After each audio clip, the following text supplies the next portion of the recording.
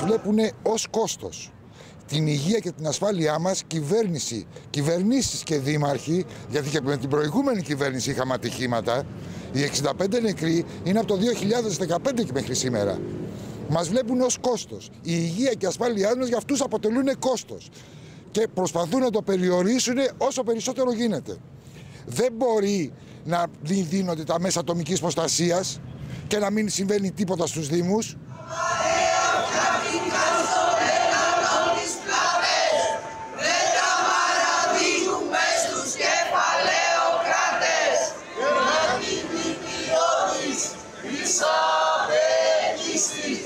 Στους ταξικούς αγώνες Κάμες